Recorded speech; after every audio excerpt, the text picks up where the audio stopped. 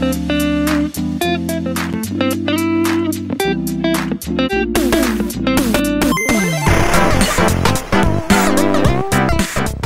guys, welcome back to my channel and for today's vlog is how to plant ampalaya indoor.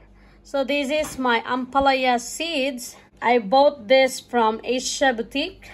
It's from Thailand and this is how it looks. So they coated uh, something color to prevent not to damage.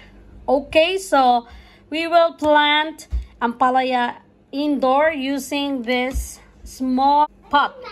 So the first step is to have a small pot with this uh, with soil and just make a hole. Just to make a hole in the center. Just like that. And then put one seed. And just put one seed. Put one seed inside then we can cover a new another soil. Just cover and dip it a little so that it will cover the seeds and it will helps to germinate when it's a little warm inside. So that's how easy it is to plant ampalaya in a pot. So we will just stay this ampalaya inside your house and near in the in the window so that it will helps to give lights to the ampalaya. So after you plant after you plant you need to water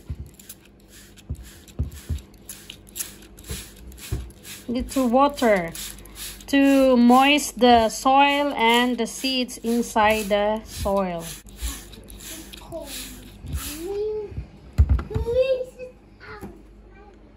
So here is the result of our ampalaya that we planted. After one week, it grows like this. You see? This is the seeds that we plant. You see? It broke, it opened inside and become so healthy growing there. You can see a very big leaves now.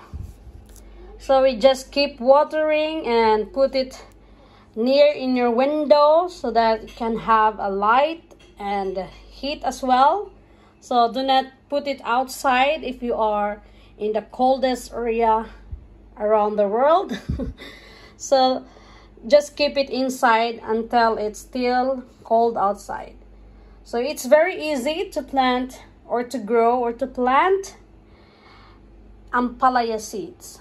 And i hope you like this video. Please like and share and subscribe my channel. Please click the bell button down below for more update for our ampalaya seeds. So thanks for watching. Have a good day. Bye bye